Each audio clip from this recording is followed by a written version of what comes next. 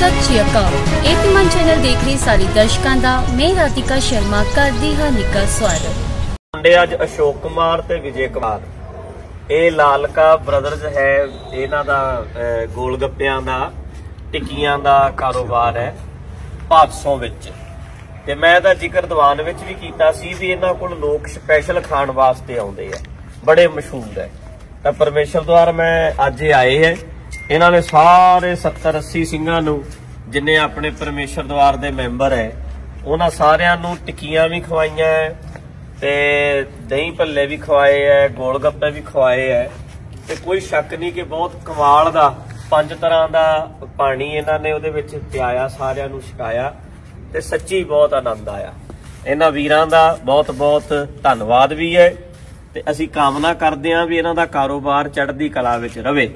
ਇੱਕ ਗੱਲ ਹਮੇਸ਼ਾ ਮੈਂ ਕਹੀ ਹੈ ਕਿ ਜਦੋਂ ਕੁਆਲਿਟੀ ਰੱਖਾਂਗੇ ਤੇ ਅਸੀਂ ਸਹੀ ਕੰਮ ਕਰਾਂਗੇ ਤੇ ਲੋਕ ਤੇ ਲੱਭਦੇ ਫਿਰਨਗੇ। ਪਟਿਆਲੇ ਤੋਂ ਲੋਕ ਦੂਰੋਂ ਦੂਰੋਂ ਇਹਨਾਂ ਕੋਲ ਸਿਰਫ ਗੋਲ ਗੱਪੇ ਖਾਣ ਹੀ ਜਾਂਦੇ ਆ ਵੀ ਇੰਨਾ ਵਧੀਆ ਇਹ ਬਣਾਉਂਦੇ ਆ। ਸੋ ਇਸ ਕਰਕੇ ਇਹਨਾਂ ਵੀਰਾਂ ਦਾ ਮੈਂ ਸਪੈਸ਼ਲ ਇਸ ਕਰਕੇ ਧੰਨਵਾਦ ਕਰਦਾ ਤੇ ਇੱਥੋਂ ਸਾਨੂੰ ਸਾਰਿਆਂ ਨੂੰ ਸੇਧ ਜ਼ਰੂਰ ਲੈਣੀ ਚਾਹੀਦੀ ਹੈ ਕਿ ਜੇ ਕੁਆਲਿਟੀ ਹੋਏਗੀ, ਕੰਮ ਹੋਏਗਾ, ਇਹ ਦੱਸਦੇ ਆ ਕਿ 5 ਵਜੇ ਸਾਰਾ ਟੱਬਰ ਉੱਠ ਜਾਂਦਾ ਹੈ। ਤੇ ਇਹਨੂੰ ਤਿਆਰ ਕਰਨ ਲੱਗਦਾ। 12 1 ਵਜੇ ਤੱਕ ਸਾਰੀ ਤਿਆਰੀ ਕਰਦੀ ਹੈ, ਸਾਰੀ ਫੈਮਿਲੀ ਰਲ ਕੇ। ਤੇ ਤਾਂ ਜਾ ਕੇ ਇਹ ਸਾਰਾ ਕੁਝ ਜਿਹੜਾ ਹੈ, ਇਹਦੇ ਵਿੱਚ ਕਾਮਯਾਬੀ ਮਿਲਦੀ ਹੈ।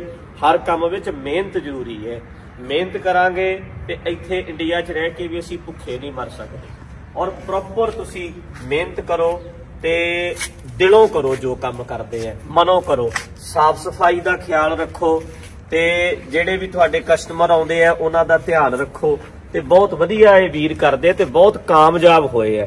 ਬਹੁਤ ਸੋਹਣਾ ਕਾਰੋਬਾਰ ਇਹਨਾਂ ਦਾ ਚੱਲਿਆ ਤੇ ਪਰਮੇਸ਼ਰ ਦੁਆਰਾ ਆਇਆ ਤੇ ਇਹਨਾਂ ਨੇ ਸਾਰਾ ਜੋ ਕੀਤਾ ਇਸ ਲਈ ਮੈਂ ਇਹਨਾਂ ਦਾ ਧੰਨਵਾਦ ਕਰਦਾ। ਵਾਹਿਗੁਰੂ ਜੀ ਕਾ ਖਾਲਸਾ, ਵਾਹਿਗੁਰੂ ਜੀ ਕੀ ਫਤਿਹ। ਨਵੀਆਂ ਅਤੇ ਤਾਜ਼ੀਆਂ ਖਬਰਾਂ ਦੇਖਣ ਲਈ ਸਾਡੇ ਇਹ ਧੀਮਾਨ ਚੈਨਲ ਨੂੰ ਸਬਸਕ੍ਰਾਈਬ ਕਰੋ ਅਤੇ ਬੈਲ ਆਈਕਨ ਦਬਾਉਣਾ ਨਾ ਭੁੱਲੋ।